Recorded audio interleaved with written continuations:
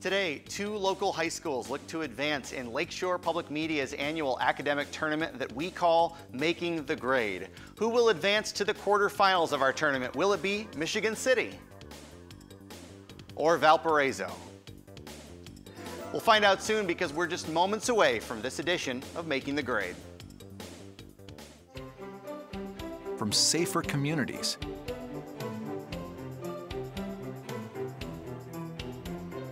admirable performances. We power Northern Indiana, so you can do what moves you.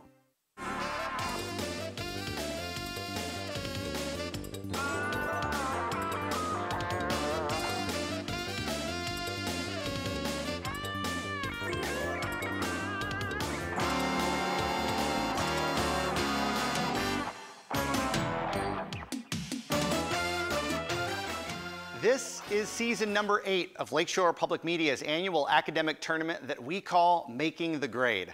I'm your host, Andy Schultz, and today, eight of the best and brightest students in all of Northwest Indiana look to push their team into the next round of our academic tournament. What's at stake? Well, of course, the highly coveted Making the Grade Championship trophy, as well as scholarship money generously provided by NIPSCO. We'll have a chance to meet our teams a little bit later. Who will advance in this competition today? Will it be Michigan City? Or will it be Valparaiso? A spot in the quarterfinals awaits them. We'll meet the individual players later in the show, but we want to get this game started right now and some points on the board with our first round that we call question and answer.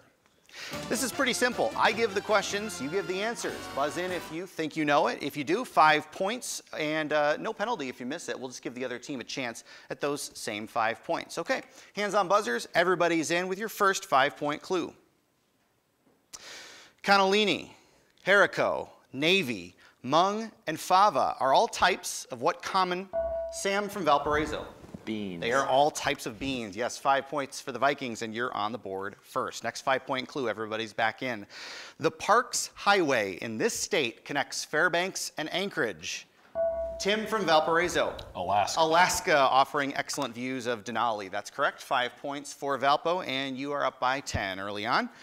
He used his namesake technique himself to save an older woman from choking. What's Tim from Valparaiso? Uh, the Heimlich. Yes. Dr. Henry Heimlich, five points for Valparaiso, and you're on a roll early on. Egyptian, Prussian, Oxford, baby, powder, electric, cobalt. Sam from Valparaiso. Blue. Are all shades of blue. Yes, five more points for Valpo. Here's five more coming your way. Give the four word title of the Robert Frost poem that concludes with the lines, I took the one less traveled by, and that has made all the difference. Elizabeth from Michigan City. The road not taken. The road not taken, yes. MC on the board for the first time with your first five points. Here's your next clue. Identify the structure torn down in 1989 following Ronald Reagan's challenge. Nicholas from Michigan City. The Berlin Wall. Berlin Wall, yes, his challenge to Mikhail Gorbachev separated Germany's capital city at the time. Five more for MC. Used to both shape the soil how you want it and to dig crops like carrots and potatoes out of the ground. What garden tool consists of a flat piece of metal attached to one end of its handle? Tim from Valparaiso. A hoe. That is correct. Five more points for Valparaiso, and you're up to 25. Mrs. Norris in the Harry Potter novels is what type of animal? Sam from Valparaiso. Cat. That is correct. Skimbleshanks and Mungo Jerry in the Broadway musical Cats uh, as well included in that question. Nice job, Valpo. Five more for you, and you're continuing that roll. What word starting with C is a generic term for mascara, nail polish, and rouge? Chanel from Valparaiso. Cosmetics. Cosmetics, yes. Five more for the Vikes, and you're to 35. Still life moving fast. Lobster telephone. Swans reflecting elephants and the burning giraffe were created by what Spanish surrealist? Sam from Valparaiso. Dali. Salvador Dali. That is correct. Five more for Valpo. What historical document claims men have the inalienable right to life, liberty, and the pursuit? Nicholas from Michigan City. Declaration of Independence. Yes, Declaration of Independence, five for MC, and you're on the board. Of course, the pursuit of happiness, five more here. On a blustery day, his house blows down along with the tree it was in. Name this wise bird character who lives in a tree in the Hundred Acre Wood in the Winnie the Pooh stories. Tim from Valparaiso. Owl. Owl is correct. Five more for you. Nice job, Valpo. You're 245 now. Pencils and paper might be helpful on this one. The verbs seek, buy, bring, fight, and think all have irregular past participles that end with what five-letter sequence? Dominic from Michigan City. O-U-G-H-T. O-U-G-H-T, that's correct. Sought, bought, brought, fought, and thought.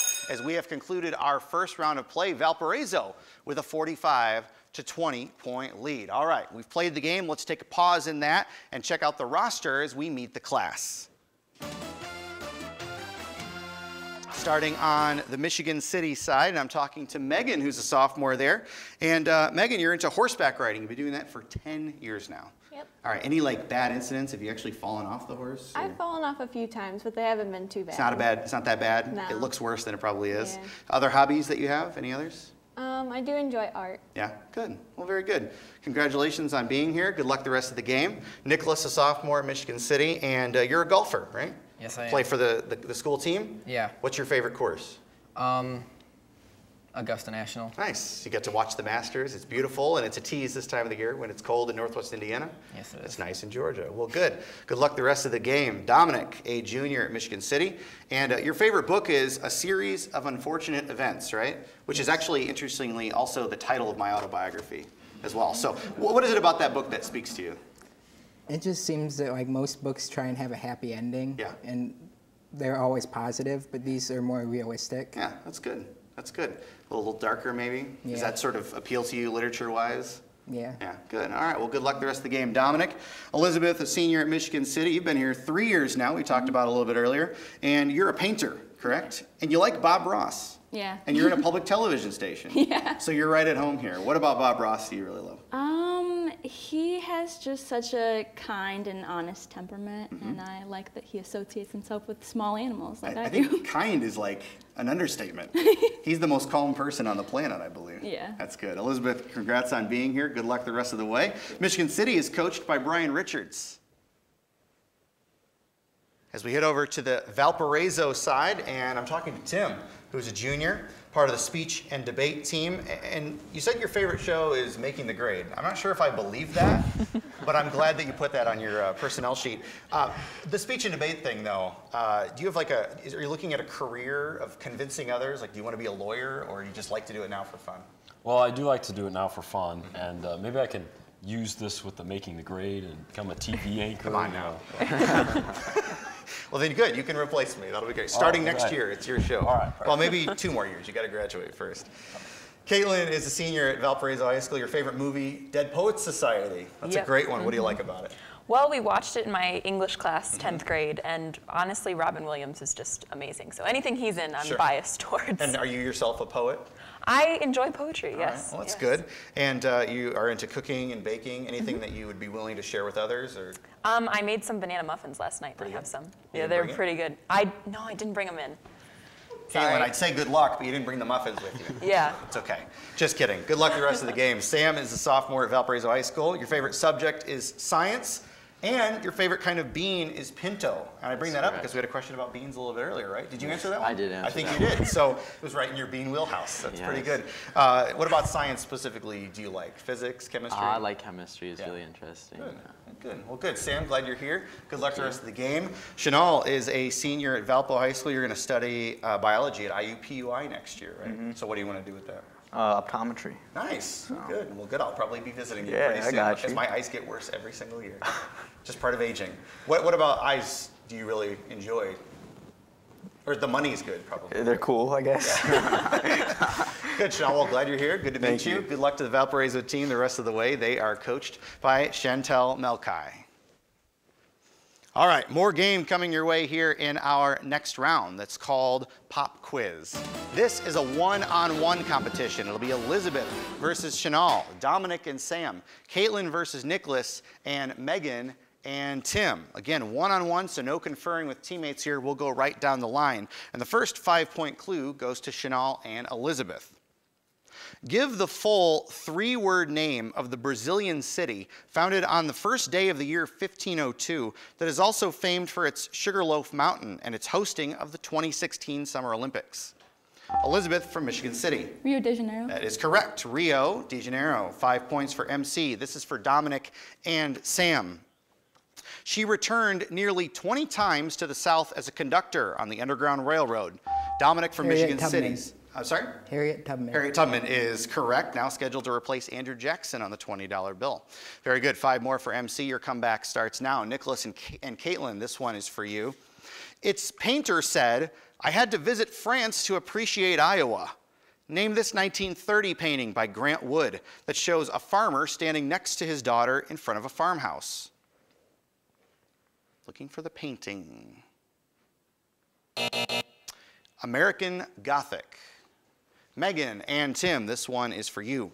It can find the grass it survives on by using its shoulder hump to move snow in the winter. Identify this animal that is now the official mammal of the United States.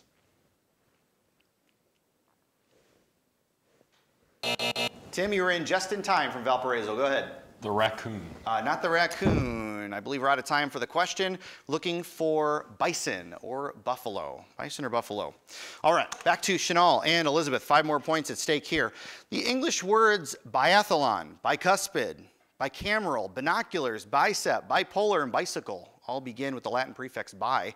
What number is that in English, Chanel? Two. Two is correct. Five more points for Valparaiso. He keeps the crowd, sorry, Dominic and Sam, this is for you. He keeps the crowd from attacking the umpire who calls two strikes on him.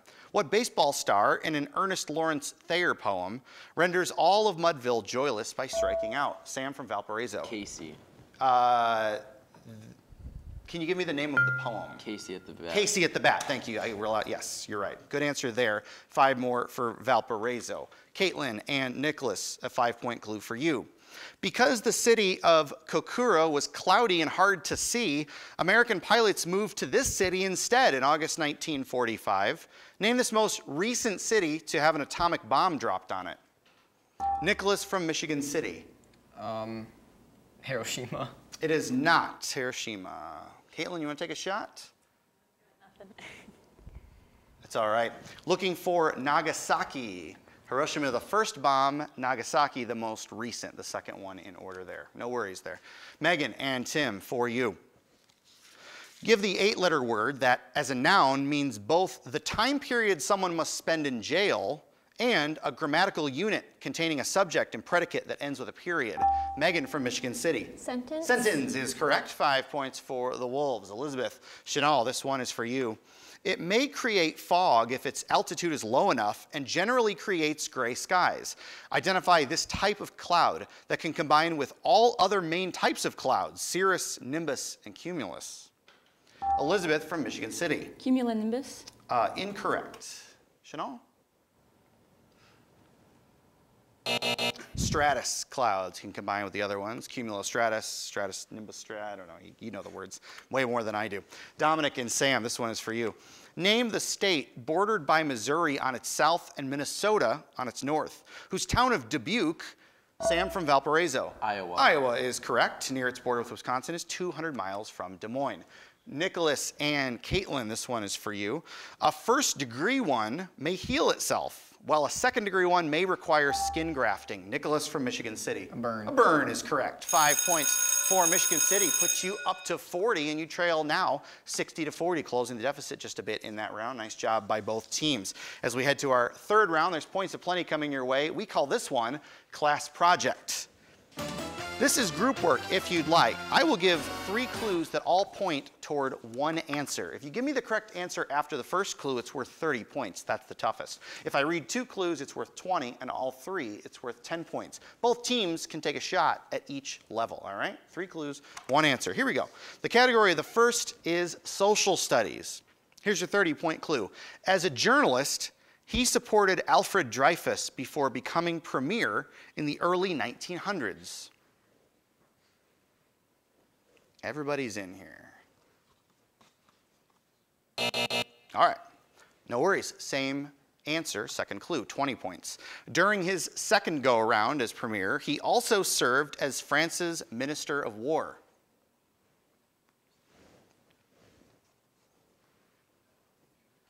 No penalty to, to miss. You can certainly try at every level. All right, here's your 10 point clue. Identify this statesman, nicknamed Le Tigre and father of victory, who presided over the Paris Peace Conference following World War I.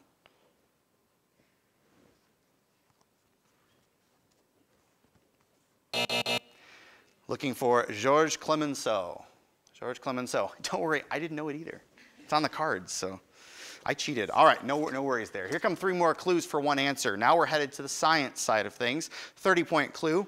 It was made commercially viable only after Thomas Edison received a patent for a carbon microphone that could be placed next to its transmitter.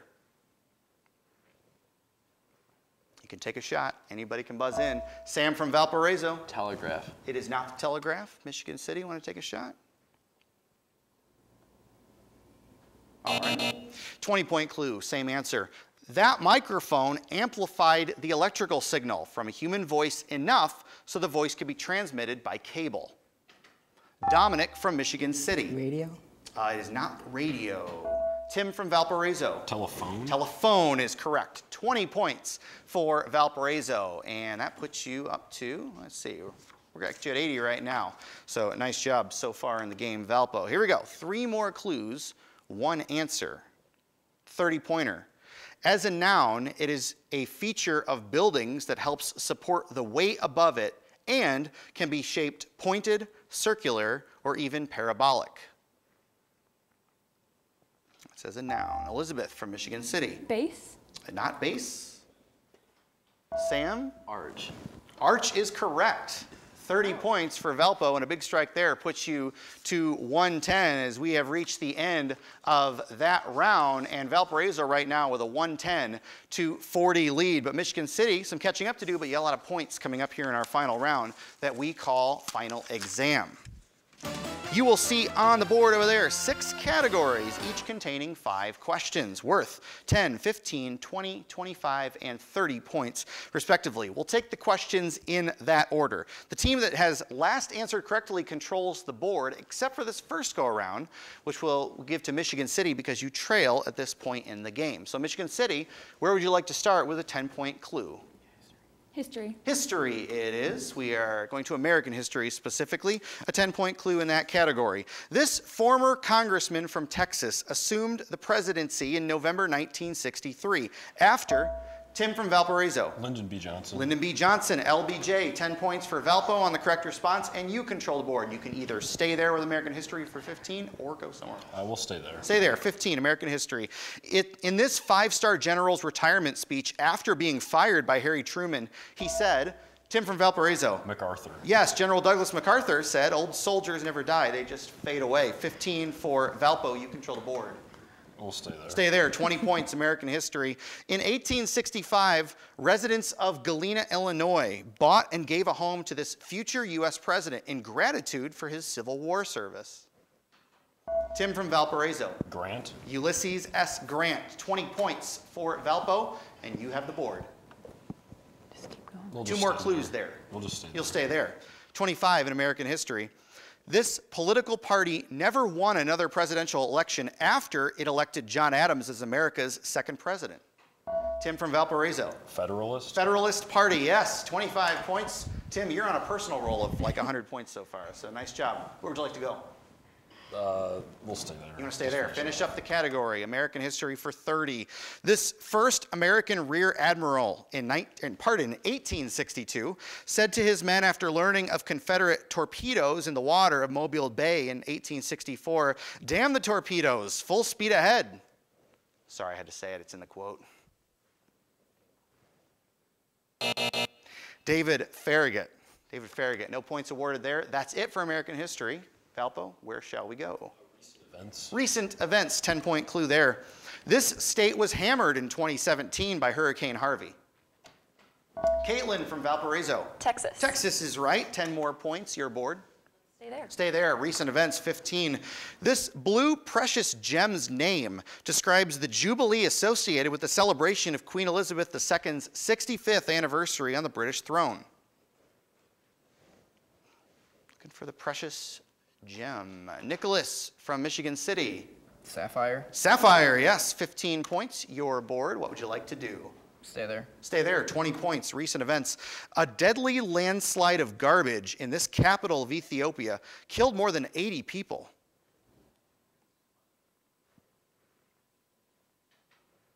Nicholas from Michigan City. A mudslide. Uh, not mudslide. Valparaiso? The Ethiopian capital is Addis Ababa. Michigan City, 25 or elsewhere. What would you like to do? You want to stay there? Yeah. 25, recent events. Within days after its initial public offering in 2017, this tech company, whose homepage offers geofilters, had dropped to less than its IPO price.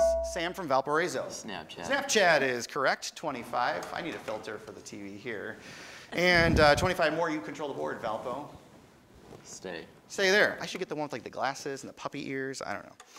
30 point clue recent events. This bill, Reforming Wall Street, is named for the two now former Democrats in Congress who sponsored it.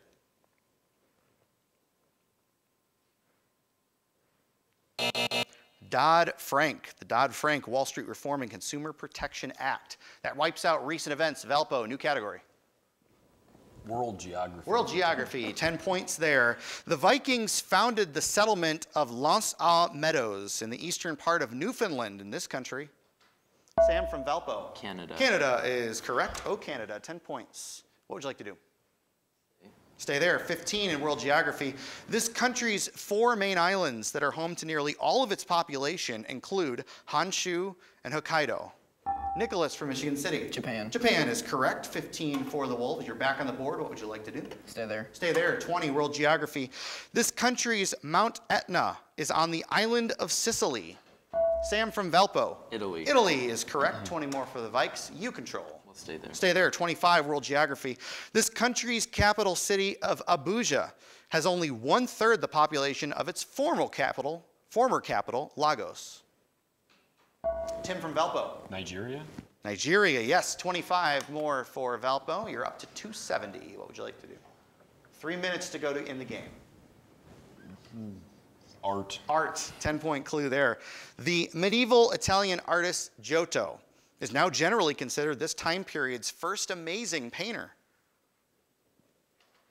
Generally considered. Dominic from Michigan City. Go ahead. Renaissance? Renaissance, yes, 10 points for MC. Your board. Biology. Biology, 10 point clue there. This term describes the relocation of animals of all kinds, even humans, from one area to another. Sam from Valparaiso. Immigration. Migration is correct, uh, typically during a certain season of the year. 10 points. I'd like to migrate to Florida now. 10 for you. What would you like to do, Valpo? Uh, British lit for 10. British Lit, 10 points there. The Richard Adams novel Watership Down features a warren of these creatures. Nicholas from MC. Whales. Not whales. Valpo? Tim? Sharks. Not sharks. Looking for rabbits. Believe you control. I know. I know. British uh, Lit, totally right in my wheelhouse. Biology. Biology, excellent, very good. Bad TV, now if that was a category, I'd sweep that one. All right, biology, 15. This evergreen tree's reproductive cycle includes the opening of the female cones that contain its seeds. Kaylin from Valpo. Pine? Pine tree, part of the conifers. Yes, that's correct. 15 for Valpo, and you control. Let's stick with bio. Bio, 20. It's 31 pairs of nerves that control feeling all over your body stretch from the base of your skull down the middle of your back. Chanel. Spinal cord. Spinal cord is correct. 20 more points for Valparaiso. One minute to go in the game. Your board, Valpo. Art. Art, 15 point clue there.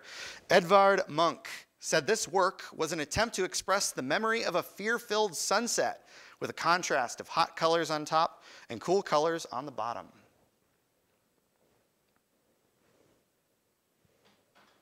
Caitlin from Valpo. Scream? The Scream, 15 for Valpo. That is correct. Up to 330. What would you like to do? British lit. British lit, my favorite category. Yes, 15 here. Last name shared by the set of sisters whose novels, The Tenant of Wildfell Hall, Were the Wuthering Heights, and Jane Eyre were written by Anne, Charlotte, or Emily. Looking for the last name. No takers. Uh, in time? I don't think so. Sorry, Megan. Bronte. Looking for Bronte. And Charlotte or Emily. Valpo. Let's go back to bio. Bio, 25 in that category.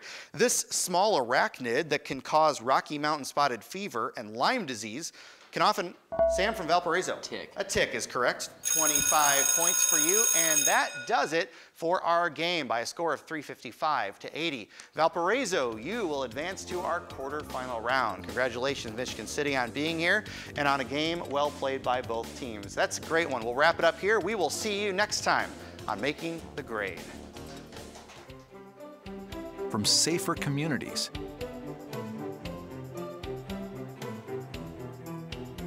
to admirable performances, we power Northern Indiana so you can do what moves you.